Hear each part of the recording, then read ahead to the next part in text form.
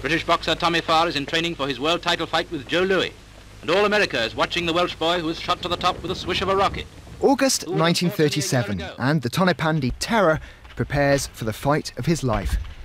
Tommy Farr was at the height of his powers and had travelled to New York to face the brown bomber Joe Louis. Despite taking his opponent the full 15 rounds, Farr narrowly lost on a points decision, but that one match secured his fame and fortune. Tommy Farr was born in 1913 in Clydachvale in Tonypandy. He grew up in abject poverty and turned to the boxing ring to make ends meet. As a teenager, he fought on the local circuit and on one of those bouts came face to face with Phil Norton's father. They fought uh, in the Imperial Hotel in, uh, in Porth. My father was about three years older than Tommy. The fight went five rounds.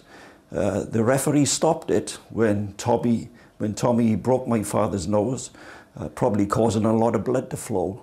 At the age of 18, Farr moved to London. By the time he faced Joe Louis, he was already the British and Empire heavyweight champion, and he retired in 1940 a rich man.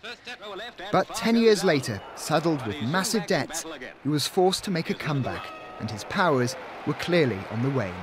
Proves the old maxim that they never come back. But he remains a boxing hero, rising from his humble roots in the Rhondda to become a sporting superstar.